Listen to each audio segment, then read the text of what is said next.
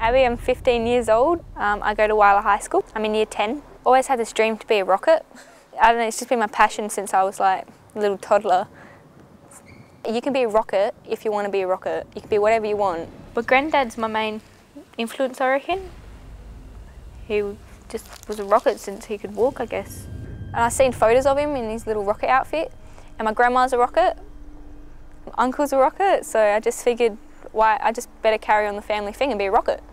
When I was little, I just woke up one morning and everyone always wanted to be Batman or Spider-Man and I just wanted to be a rocket. Like, they're really colourful and they go to space and stuff and thought it would be fun. I go to the hardware store every week and I get free stuff because I'm like, they say that I like inspire kids to be a rocket. Adjustable level. Alright. That's what I need. Reflectors. I don't have a number plate and I don't want to like break the law or anything and like go around town flying and stuff and like not be registered. Could work, but it's not a very lucky number. That's my takeoff light. I could like make a little container or something, and pull it out like a tray and have my little vegetables and stuff in there, like herbs. Oh, this could be handy. I could use like a toilet seat lid as like a shoulder cover thing, like maybe a square looking one. Could use it as a hat, but I'm trying to see what style I want because these are really ugly looking. Hmm. I could always go for wooden. This would be for plumbing. Because I can't just go to the toilet in my suit. That could be dangerous. If I get like steel or something, I don't want it to like rust in the, the outer atmosphere. I need two 360s in the wood's just too bent. I'm just like an individual. You don't see many rockets. I've got the, all the technical stuff that I can get like all this cool equipment and things to make me fly, like getting off like jets and stuff.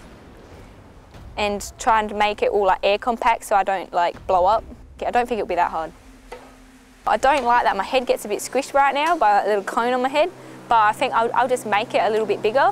No. Oh, it's progressing. I should have it finished by the end of the year, maybe, if you're like pretty lucky. I'll be able to go into space whenever I want. I can put a house on the moon or whatever and use it all down here. And you have to pay like a million dollars to go on spaceships, and I am a spaceship. I go to the airfield maybe twice a week and do a little test run. Humans can't fly, but I don't think it'll be that hard. I haven't quite got flying yet, but I'll get there. Don't let anyone stop you from being what you want to be.